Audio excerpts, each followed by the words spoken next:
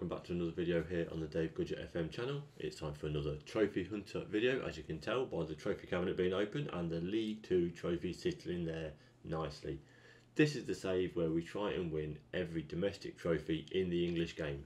So, League 2, League 1, Championship, Premier League, Carabao Cup, Papa John's Trophy, FA Cup. So far, so good. One season down, one trophy won let's have a look at how we've been getting on in season two as we uh, try to adjust to life in League One. As we can see here, front and centre in the middle of the table there, we have got the league table. This is a very, very pretty side as far as I'm concerned. Played 15, won 10, drawn 3, lost just the two games. Really, really positive and really strong start of for the season. In those 15, we've scored 26 goals.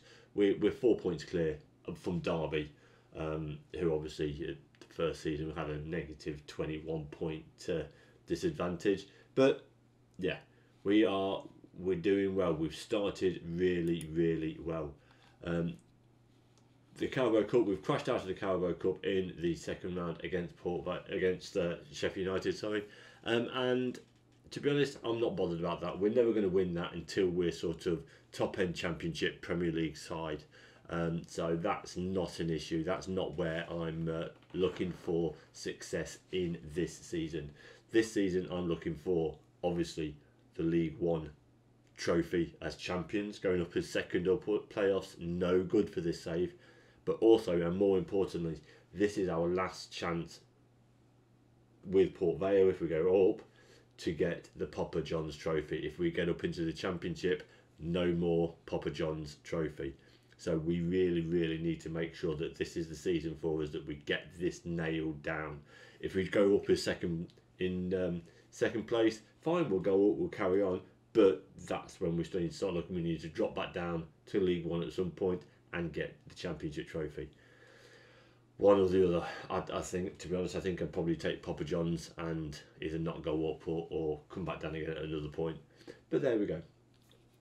Going through the um, season, like I said, first game of the season was up against Shrewsbury. Now, with this one, we started really, really well. 14th minute took the lead. They knocked us back. We got uh, lead just after um, so halfway through the second half and then towards the tail end they got a second one back. It it wasn't even fair. It's brutally honest. They had two shots on target and scored with both of them. Um, we dominated. We dominated possession. We dominated chances. Our XG was massively higher.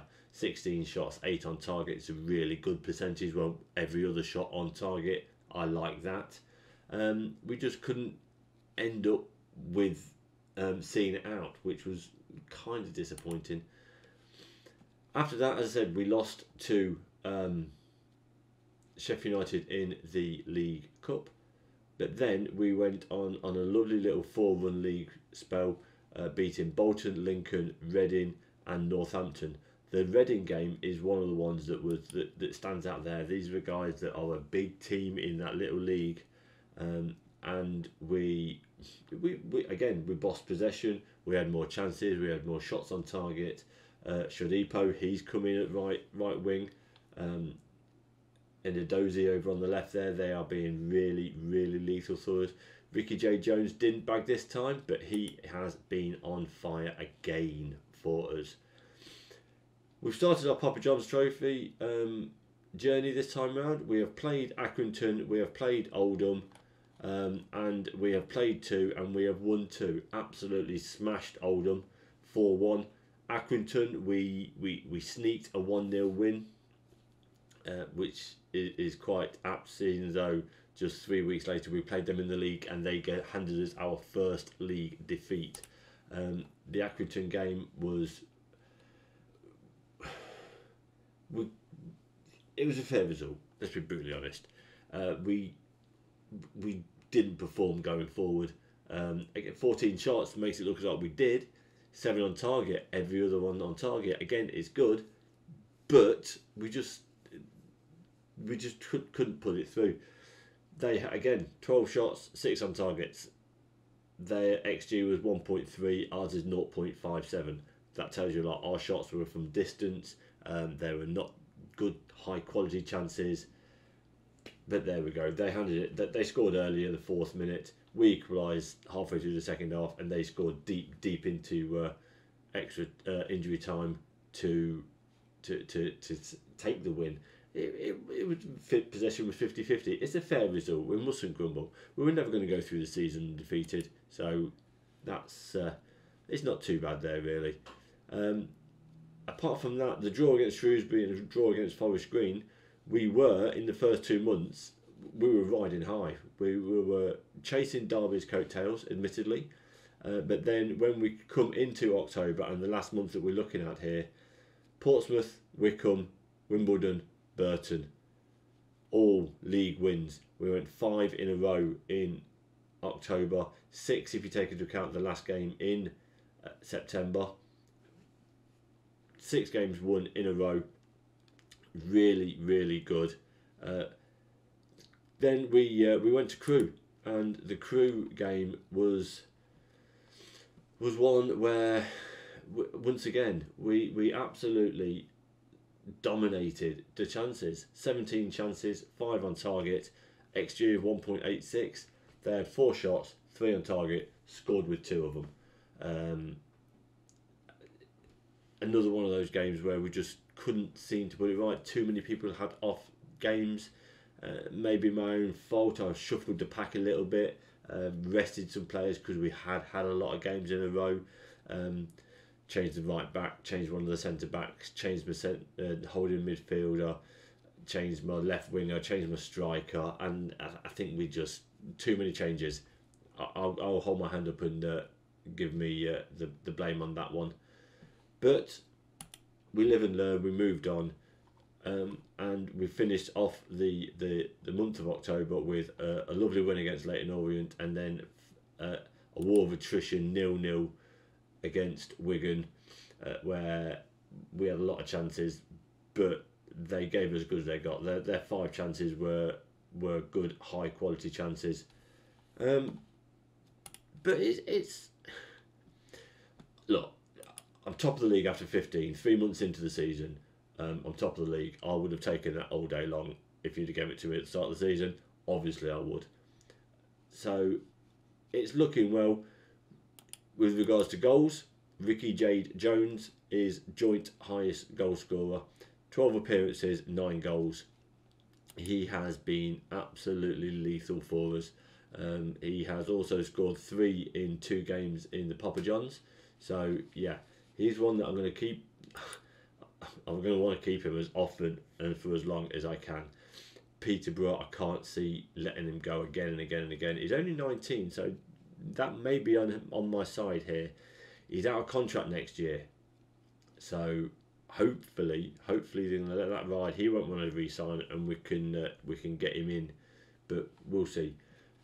With the other transfers that have happened this year, leaving out Jake Taylor went on loan to Salford. Nelson Agho has gone to Gateshead. Johan Zuma has gone to uh, Niort in France for 50k, possibly rising to 70. Here's the big money move, uh, which is nice. So he costs us absolutely nothing. Uh, Darren Shelbourne, uh, Darren Gibson's gone to Shelbourne for 700 quid, um, and then the others went to sort of beginning of or, or during last video. Coming in, we've not spent a lot of money at all. In fact, on the 15 people would have come in, a lot of people, but I needed to refresh the team, get rid of the dead wood, those that were good enough for League Two, not necessarily good enough for League One, and, and obviously it's, it's working because the league table doesn't lie. But from those 15 that we brought in, I have spent money on just two. The big, big money signing is Gabriel Osho from Luton, uh, centre back. He come in, he cost me cost me 85,000, possibly rising to 180,000. but he has repaid that in spades, really. His, his average over 12 appearances is 7.33. Papa John's average is 8.3. So he's he's been an absolute rock alongside Elise, who come back on loan uh, from last season. The other one I spent money on is Lars Dendoncker from Brighton. Yes, Premier League Brighton. Lars Dendoncker came to us. 75 grand he's cost us. And again, there's another one that really is repaying that fee uh, in, in spades for us. An average of 7.03 on 13 appearances. His his passing's sitting there at 93% and a 75% tackling win rate. For a ball winning midfielder, he's winning three out of four tackles. Oh, I can't ask for more than that. And then 93 over nine for every 10 passes, more than nine are getting through. It, it's I can't ask for more than this guy. He has been an absolute revelation there. With the others that have come in, um, another high profile one, Carl Jenkinson, former uh, Forest, Arsenal, West Ham player, came in on a free transfer. Uh, it made three right backs I've got, so I was a little bit um, wary of maybe bringing him in, but his experience, I think we have got a very, very young squad. His experience, I thought, may be absolutely um, invaluable. And another one who is 13 appearances, an average of 7.47 um, tackling win ratio of 90%, pass ratio of 90%. He has been in the league absolutely, yeah, phenomenal. He came in as maybe, or maybe he'll he'll be good to have around, and he, he can fill in here and there when others get tired. He's he's forced himself to be the starting right back for us. So in the in at the back we've got uh, Osho, uh, Elise. Dan Jones is still going there as, as my left back. His long throws are still an absolute weapon for us. Um, then we've got Cole Jenkins at right back. Alternating between um, Dendoncker, we've got Jacko Okerson. Uh, came in on a free transfer, absolutely rated, and is doing well when he's coming in. Um, he's really just uh, he's Dendoncker's understudy. He he will come in and be the the if Dendoncker's tired, he'll come in and replace him. But one or two games, he's not really pushed himself on there. He's only twenty one, so he's he's with us for a while, um, but he's been uh, good enough for us. The box to box midfielder Kyle Dempsey has made this role his absolute own. Again, free transfer, cost us nothing. Uh, 15 appearances, average of 7.1 in the league. Uh, pass ratio of 90% again. All these passing rate are really, really high. 86% tack, tackle win ratio. I can't ask for more than these guys. They really are performing over and above what was expected of us. So so yeah, Shodipo, like I said, came in from QPR on a free transfer. He's he's been okay. He's he's scored some goals. He's, he's, bear in mind he's a winger. He's scored four goals in twelve appearances for us. So brilliant there. His ratio, his rating six point eight four. He's been declining recently, um, so it is one I need to keep an eye on and maybe swap him out and give him a little bit of a rest. Tactic wise, we are still going on the jigsaw uh, 41131 4231 bastardized um, scattergun just throw it on there and hope it works. Maybe. The wing play is being absolutely lethal for us. We we are overlapping when we are in possession focusing down the wings and then the fullbacks are overlapping. And it shows by the fact that Jenkinson is one of the highest cross crosses of a ball in the league so far Dan Jones is is got ten assists, um, not not just from long throws. His crosses are getting in there and causing these assists as well. So it's going really, really well. I honestly never expected to be um, first. I expected to struggle. I really did. The board are more than happy with us at the moment. They are an A plus. I'm doing an unbelievable job, and clearly they're the right manager for the job. They expected at the start of the season, they expected us to fight bravely against relegation. Obviously, that's working well at the moment. They want us to reach the second round of the FA Cup. That's coming up soon. Be competitive. We made it to the second round and got knocked out by a higher league competition, so that's good. And then competitive in the Papa Johns. They don't care about that. I think I'm the only one that genuinely cares about that. So that's working well there. Defensively solid football they want. That's working. Possession football, yeah, okay. I am playing um, shorter passing, passing, but it's not possession based. It's wing based, and I'm not going to change that at all. I don't care. Um, make the most of set pieces. I'm playing for set pieces. It's not my fault if they're not making the most of it themselves, um, but they are very disappointed with that. I need to maybe uh, work on that a little bit. I'm selling people players for profit. I'm working within the wage budget, but they're not judging me on the contract. So all in all, it's going really, really well. This